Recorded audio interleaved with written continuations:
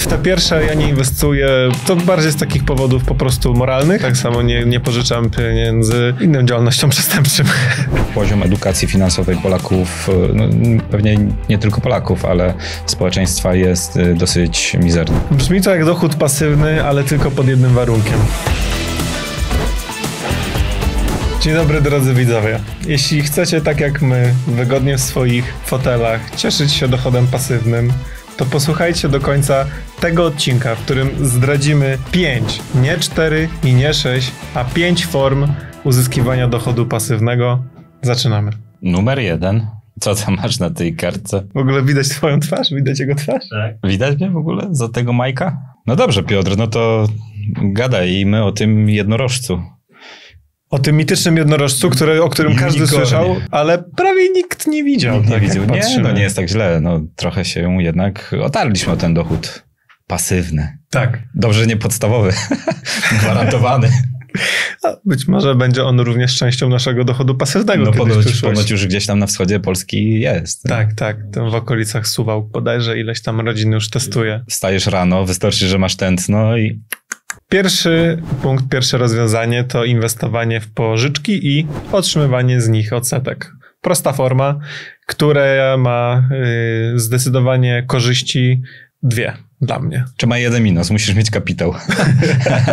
Musisz mieć co pożyczyć. Jest to Chyba, minus, że tak. pożyczysz od kogoś na mniejszy procent, a pożyczysz komuś na większy procent. Tak, to prawda. Albo więc... chyba, że jesteś no, bankiem komercyjnym, no to w tym to wtedy wypadku, nic nie musisz mieć. No, trochę tam musisz mieć. No, troszkę pożyczysz, żeby mieć jakiś depozyt później, dźwignia. Dokładnie. I lecimy. Po pierwsze, nie musisz mieć przykładowo kapitału, który jest potrzebny na zakup całej nieruchomości, więc już można tego typu inwestycje realizować sobie mm, od znacznie mniejszego kapitału, nawet od kilku, kilkunastu, kilkudziesięciu tysięcy złotych. To jest niewątpliwie plus. Drugim plusem jest to, że możesz sobie dowolnie układać okres trwania, w zależności od tego, jakie tam projekty Cię interesują, y, co znajdziesz, to może być pożyczka na pół roku, rok, dwa, pięć, 10. W każdym razie daje ci to przewidywalny poziom zwrotu, mhm. który określa ta umowa pożyczki um, i również termin spłaty. Wszystko jest oczywiście dobrze tak długo, jak druga strona wywiązuje się również z postanowień tejże pożyczki.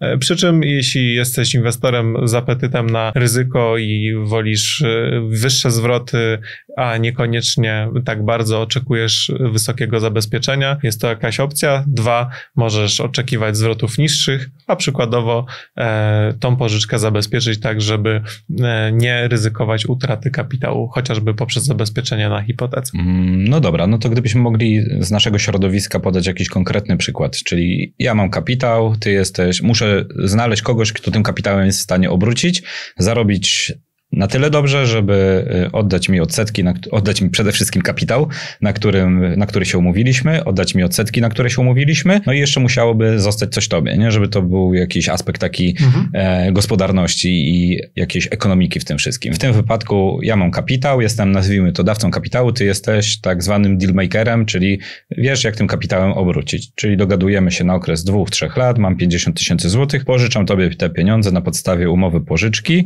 Tutaj należy zwrócić uwagę, że po Twojej stronie jest, jako po stronie pożyczkobiorcy, podatek PCC w wysokości 0,5% mhm. i Ty realizujesz sobie jakieś kolejne przedsięwzięcia. No, w naszej branży są to przedsięwzięcia, które są realizowane w oparciu o nieruchomości, więc często mamy możliwość zabezpieczyć mhm mnie jako dawcę tego kapitału na hipotece takiej nieruchomości, bądź też na hipotece jakiejś innej e, nieruchomości. Rozmawiamy o jakimś konkretnym okresie trwania umowy, konkretnym oprocentowaniu, no i się dzieje. Ty sobie kupujesz kamienicę za 4-5 milionów złotych, wkładasz drugie 4-5 milionów złotych, sprzedajesz ją za 15, oddajesz mi kapitał, oddajesz mi odsetki, księgujesz sobie zyski, mamy sytuację załatwioną. Tak, tutaj takie dwie historie mogę przytoczyć.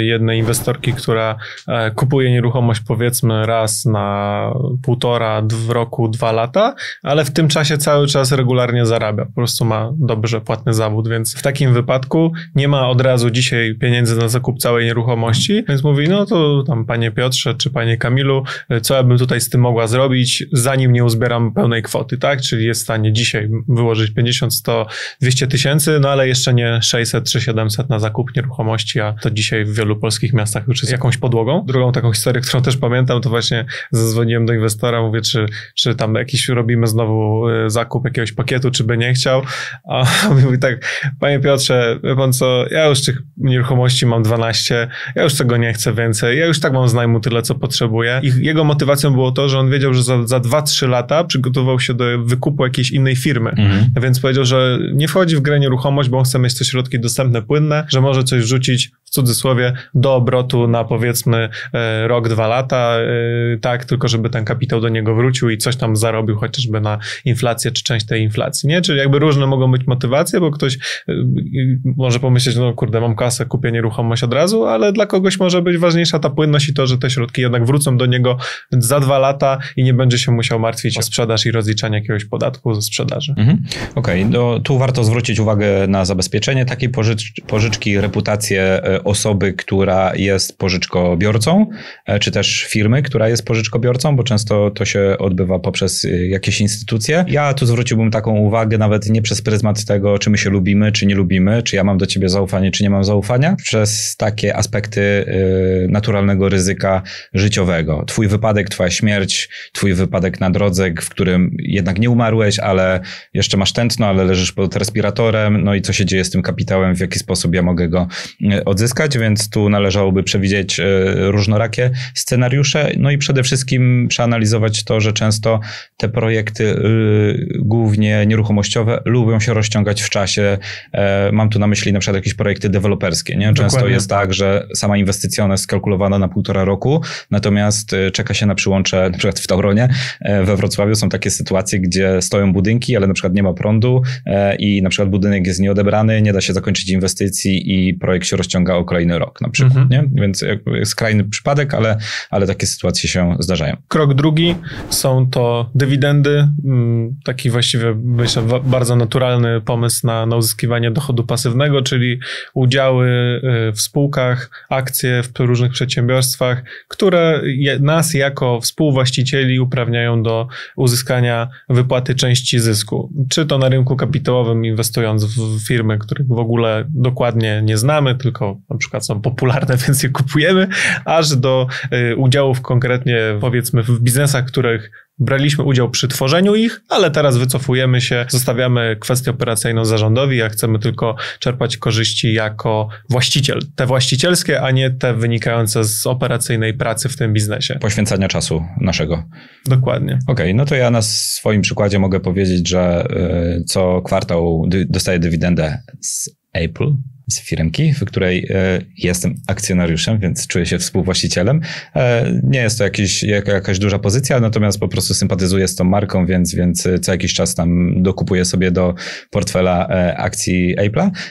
No i jest to przyjemne uczucie, kiedy widzisz powiadomienie, że jakaś tam dywidenda została wypłacona, bo w zasadzie no, jakby kurs akcji wiadomo, że też w górę w dół, ale jednak z troszeczkę z innym nastawieniem. Akurat te akcje posiadam, a druga kwestia a propos właśnie nie tych dywidend akcyjnych, no to są dywidendy udziałowe, e, no to są biznesy, w które kiedyś gdzieś zainwestowałem jakiś e, kapitał, ale na zasadzie hej, mam kapitał, jestem aniołem biznesu i pakuję e, tu w was środki, co pomaga wówczas tamtym osobom na tamtym etapie rozwinąć skrzydła, stworzyć biznes, z którego teraz jakieś kupony można odcinać. Krok numer trzy, sposób numer trzy to finansowanie działalności państwa, na przykład poprzez nabywanie obligacji skarbowych, tudzież finansowanie działalności innych przedsiębiorstw poprzez nabywanie obligacji korporacyjnych, tudzież lokaty bankowe, czyli finansowanie banku po to, żeby on mógł dalej finansować kolejne podmioty i z naszych depozytów e,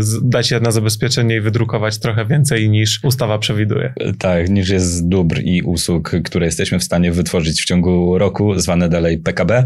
E, no Ładnie to nazwałeś, yy, odważnie. W te pierwsze ja nie inwestuję, ponieważ... Pierwsze były co, obligacje? Skarbowe, nie? To bardziej z takich powodów po prostu moralnych. Yy, nie podchodzę do tego typu inwestycji, nie interesuje mnie ile one to jest generują. tak, jakbyś inwestował w złotówkę.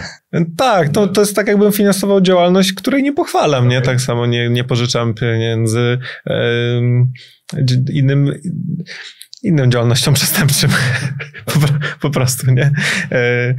Do tego dochodzi również ryzyko, oczywiście. Ryzyko bankructwa kraju jest daleko mniejsze niż ryzyko bankructwa jakiejś firmy prywatnej, ale i takie przypadki się zdarzają. Zresztą nie potrzebujemy bankructwa, wystarczy nam bardzo wysoka inflacja, która prze, prze, prze, jakby przegoni zdecydowanie ewentualne odsetki z tych obligacji mhm. skarbowych, nie? Także ja tym się nie zajmuję.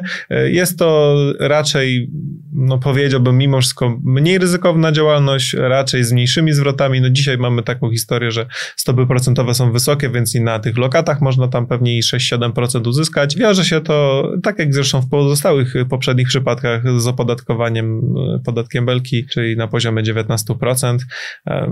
Nie wiem, czy coś tu można dodać jeszcze. No, dodałbym, że y, mimo słabej reklamy jest to bardzo duży rynek, że mimo, że robią to totalnie do dupy, y, ludzie wiedzą, jak to działa, ale mimo wszystko pryzmat tego, że jest to rządowe, y, to rynek jest bardzo duży. Nie? Rynek obligacji, rynek lokat. W zasadzie popatrzeć na starsze społeczeństwo, raczej nie usłyszysz tam, że a, zainwestowałem w biznes, e-commerce, w nieruchomość na wynajem. E, w zasadzie próg wejścia jest stosunkowo niski, bo mając 5-10 tysięcy złotych jesteś w stanie nabyć to mm, aktywo, w cudzysłowie.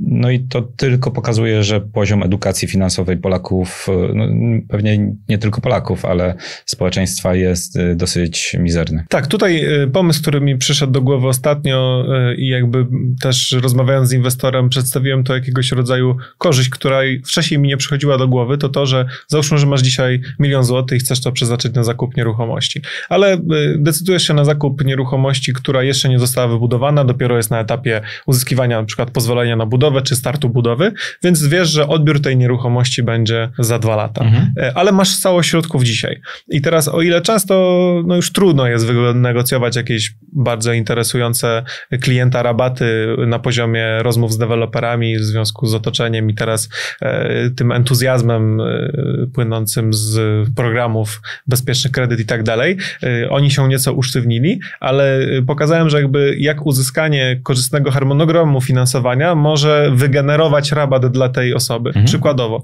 20 na 80, czyli 200 tysięcy z tego miliona wpłacasz dzisiaj, ale 80% dopiero za dwa lata, na przykład 7 dni po uzyskaniu pozwolenia na użytkowanie, czyli naprawdę na sam koniec tej tak. budowy. W tym czasie te 800 tysięcy przez dwa lata, nawet wrzucone w coś tak bardzo bezpiecznego, nazwijmy jak lokata w jakimś banku komercyjnym, przypuśćmy na oprocentowanie 7%, gdzieś tam po podatku wyjdzie pewnie niecałe 6%, ale po pierwszym roku 6, po drugim 6, to jest tak naprawdę naprawdę jakbyśmy od tych 800 tysięcy zainkasowali jakieś, nie wiem, 12-13% rocznie pewnie procentem składanym, czyli to jest tak, jakbyśmy w sumie uzyskali około 10% rabatu na zakup tej nieruchomości, mhm. czyli jeśli dzisiaj tą gotówkę już posiadamy, ale mamy ten harmonogram, to tak naprawdę naszym rabatem jest to, że te środki w prosty sposób zaprzęgając do pracy nie na rachunku powierniczym dewelopera, a na naszych jakichś tutaj prywatnych wyborach, czy to lokata, czy to jakaś pożyczka, no ale mówimy tu o sytuacji, że powiedzmy chcemy bardzo bardzo bezpiecznie, bo wiemy, że za dwa lata jest ten termin płatności, więc nie chcemy dopuścić do sytuacji, że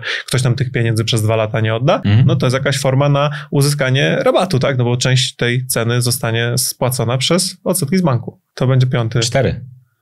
Cztery. Kolejnym sposobem jest własność intelektualna i tu za przykład możemy podać ten piękny set, czyli książki pana Kazimierza Turalińskiego, mojego mentora, jeżeli chodzi o bezpieczeństwo w prowadzeniu biznesu, przynajmniej w Polsce. No i zobaczcie, mamy tutaj raz, dwa, trzy, cztery, pięć, sześć, siedem, osiem książek, na które pan Kazimierz poświęcił czas prawdopodobnie tylko raz. Zakładam, że to co wie, pisze to z głowy, więc nie zakładam, że napisanie takiej jednej książki, która jest cegłą, trwało dłużej niż pół roku. Mogę się mylić, ale tak sądzę, że tak było. E, I te osiem książek zostały napisane tylko raz, zostały wydane za pomocą wydawnictwa Artefakt i są sprzedawane do dnia dzisiejszego, z których pan Kazimierz z pewnością odcina sobie e, kupony, tantiemy i nie poświęca na to więcej czasu. Oczywiście nie mam na myśli propagowania tylko pisania książek, że nagle wszyscy będą pisać książki. Natomiast są to poradniki, jakieś audiobooki, jakieś e, piosenki, które e, mogą być objęte prawami autorskimi, tak, e, szkolenia, kursy cokolwiek, na czym się znamy. Nawet teraz popularne stały się takie serwisy jak Buy Coffee czy Substack, czyli takie miejsca, w którym właśnie autorzy treści, nieco bardziej specjalistycznych, konkretnie takich, które cię przykładowo interesują, mhm. dają ci możliwość zakupienia dostępu do ich newsletterów czy tych artykułów, nie wiem, makroekonomicznych, biznesowych, inwestycyjnych, osobistych. E, płacisz przykładowo 10 dolarów miesięcznie w zamian za to, że dostajesz dostęp do tych wszystkich treści, więc również no, jest to w pewien sposób pasywne na tyle, że teraz tworzysz tą treść, być może, że i tak by się musiał stworzyć, a ty po prostu dajesz możliwość jej zakupu. E, no a kasa płynie do ciebie tak długo, jak ludzie chcą czytać i kupować to, co Do momentu, produkujesz. kiedy dostarczasz content, na który jest zapotrzebowanie. I numer 5 to są Nieruchomości, nieruchomości. No na tak, wynajem? Na wynajem. Jeszcze powiedz, o kurczę. Tak, jak y, wydawałoby się oczywiste dla nas, e, ale zostawiliśmy na koniec. Tak, bo żeby zaksięgować przychód, no musisz mieć nieruchomość, później e, ją wyremontować, później mówimy o dochodzie pasywnym. Pasywnym. Musisz ją wyremontować, musisz ją sfotografować, musisz opublikować ofertę e, najmu, musisz mieć odpowiednią umowę najmu, musisz e, zrobić rekrutację takiego najemcy. Musisz podpisać z nim umowę najmu, zweryfikować tego najemcę. Tak. Następnie musisz go windykować, jak ci nie płaci. Później się drapać po głowie, jak ci, wyśmie, jak ci wyśle pismo, że jednak temperatura jest za wysoka albo za niska w pomieszczeniu i to jest niezgodne. E, później musisz go w jakiś sposób eksmitować, e, później musisz go wzywać do zapłaty, później musisz szukać, do sądu. szukać nowego najemcy, ale żeby znaleźć nowego najemcę, musisz odremontować to mieszkanie, czy to przedmiot najmu po poprzednim najemcy, musisz go doposażyć, e, później w międzyczasie musisz dokręcać krany, z których cieknie woda, albo odzwaniać i wysyłać ponownie fakturę, bo często się zdarza tak, że najemca jednak w setkach maili nie dostał tego maila z fakturą. Akurat ten nie doszedł, awaria skrzynki y, na maile od ciebie. Dokładnie, więc no brzmi to dobrze. Brzmi to jak dochód pasywny, ale tylko pod jednym warunkiem. Pod takim, że y, całą tą operację w postaci uzyskania tego przychodu najmu od najemcy zdedykujemy firmie, która się tym profesjonalnie zajmuje. O ile to jest nieruchomość przykładowo usługowa, lokal powiedzmy pod markę sklepu spożywczego czy pod paczkomaty, tu faktycznie jeśli, jeśli naszym kontrahentem jest stabilna firma, która płaci, może to być nieść jakby znamiona takiego dochodu pasywnego mhm. per se, przy czym lokale usługowe też często mm, trzeba dysponować już nieco większym budżetem. Też nie wszyscy e, inwestowanie w te lokale rozumieją. Jakimś tym sportem narodowym w Polsce jednak jest inwestowanie w nieruchomości mieszkaniowe, a nie te usługowe. Wtedy jak najbardziej nazwijmy to sobie dochodem pasywnym, ale tak długo jak masz kogoś, kto ci go zapewnia, firmę najlepiej. Tak, na szczęście są firmy, które specjalizują się w prowadzeniu mm, obsługi tych najemców. No tu taka przewaga tego rynku mieszkaniowego to jest zdecydowanie płynność, bo ile umowy takie na lokalach komercyjnych, one mają długi okres y, trwania, e, nie zawsze zostają dowożone, nie zawsze jest tak, że kontrahent, restauracja, e, sklep y, przetrwa w polskich realiach. Czasami zdarza się tak, że niestety czeka się dłużej na takiego kolejnego najemcę, nie? Typu im większy obiekt, tym, tym Tak, zmierzasz do tego, że umowa jest dłuższa, ale i pustostan przez to tak. może się wydłużyć, a więc nasze cashflow się nie, zaburzyć. Nie oscylujemy w takiej podstawowej potrzebie człowieka, jakim jest dach nad głową, więc my jakby specjalizujemy się w nieruchomościach e, mieszkaniowych. Nie wyobrażam sobie e, samodzielnie zarządzać ze swoimi mieszkaniami. Też jakby nasza tutaj wrocławska firma nam to, nam to robi. Naprawdę jest co robić za drobną opłatą miesięczną. A tak naprawdę cały problem e, najmu z głowy może zostać ściągnięty. I tu jasno trzeba sobie też powiedzieć, że mnóstwo mieszkań w Polsce skumulowanych w rękach prywatnych, nie mówię o instytucjach, stoi po prostu puste z tego względu, że po prostu boją się e, praw, jakie mają lokatorzy, jakie mają najemcy, bo są niestety pronajmowe, więc z zapleczem takim prawnym, e, no, najmem można zrobić sobie mocne kuku. Często ludzie podejmują takie decyzje, że po prostu te mieszkania stoją puste. Nie ze względu, że e, ktoś kupił i czeka na spekulację, że będzie rosła cena, tylko przez to, że po prostu mamy takie prawo, jakie mamy. Tak, tutaj minusem niebywale jest kwestia no, ta ludzka, tego, że po prostu, żeby ktoś płacił, jest to zależne od y, człowieka, a więc y, przyjmujemy tego najemcę z całym dobrodziejstwem inwentarza, czyli z jego różnymi problemami, również osobistymi, z bagażem którymi, życiowym. z bagażem życiowym, którym czasem zdarza się, że nas obarcza, takie jak to, że na przykład pracodawca nie wypłacił mu wynagrodzenia, co jest oczywiście problemem tylko tego człowieka, ale on ten problem często lubi przełożyć na właściciela nieruchomości, tudzież, tudzież firmę Z drugiej strony plusem jest to, że odporność tego rodzaju e, aktywów jest nieco inna. Przykładem najlepszym będzie e, ta, tutaj i tak będą wypika, wypikają to słowo, więc pan e, która e, w Polsce doprowadziła do tego, że wiele restauracji się pozamykało lub przestało działać, lub po prostu przestało płacić czynsz właścicielom tychże lokali usługowych, którzy liczyli na, na zyski stałe, podczas gdy no, w nieruchomościach mieszkaniowych są zawsze jakieś inne pomysły, można je troszeczkę przerobić, przygotować pod kątem innego najmu lub po prostu obniżyć cenę o te 20-30% i najemcę znaleźć. Także y, przez dwa lata tak naprawdę rynek mm, był nieco słabszy i, i czynsze najmu 20-30% niższe, ale one były płynne co miesiąc, cały czas, ewentualnie najemca wypadał na okres kilku tygodni. Tak w przypadku lokali usługowych, kiedy wszystko jest dobrze, dobrze, jest hossa i gospodarka dobrze działa, jest to rozwiązanie rewelacyjne i mało obsługowe, ale w tych gorszych momentach może być różnie. Dziękujemy za dzisiejszy odcinek. Dajcie znać w komentarzach, jakie są Wasze pomysły na uzyskanie dochodu pasywnego. Najśmieszniejszy komentarz przywołamy w kolejnym materiale. Dziękujemy, trzymajcie się. Cześć. Cześć, cześć, ale wymyśliłeś.